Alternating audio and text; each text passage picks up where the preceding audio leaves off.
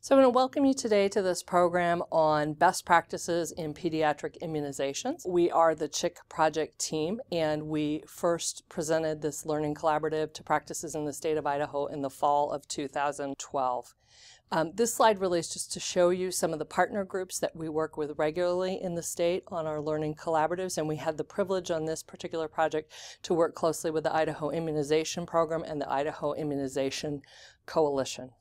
So this slide shows you uh, some of the different practices that participated in the original Learning Collaborative and represents a variety of groups in different areas of the state and includes both family physician practices, pediatric practices, and um, some health centers as well.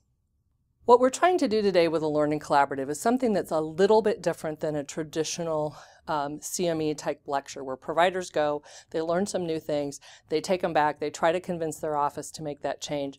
And in general, we don't succeed very much of the time. What we're doing with a learning collaborative is we're bringing the whole team and involving them in the process because it really is a process. It's not only about specific disease information, but how you do these things well. And it really requires your whole team.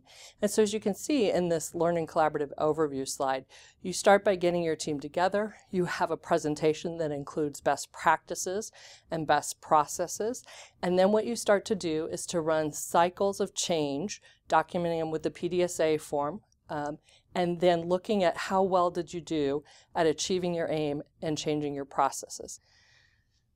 So the goal in this particular learning collaborative is, as a project aim, to improve the overall two-year-old immunization rate for children aged 22 to 26 months. Idaho has the privilege of alternating between 49th, 50th, and 51st position nationally in terms of our overall rate. We're going to do it with some specific learning objectives. We want you to take away from this what are best practices for immunizations, what are best processes for immunizations, what are some things that you can do when you're dealing with parents that are refusing immunizations. And we also want to teach you some basic QI principles so that you can make these changes this time in your practice and use those in the future when you want to improve processes. I also need to disclose for you none of our speakers, planners, or anyone associated with today's Immunization Learning Collaborative have any relevant financial relationships to disclose.